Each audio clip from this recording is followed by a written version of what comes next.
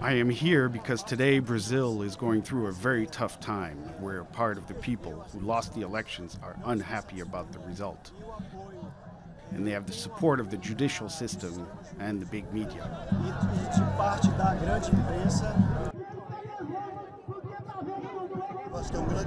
Lula joining a government is a big boost. His experience, his political clout, his engagement, and his base of allies will strengthen the government, which the opposition up to now hasn't allowed to govern. Lula, with all his political skill, will reinforce President Dilma's team so that she finishes her term, so that things fall back into place, and the opposition stops trying to remove her.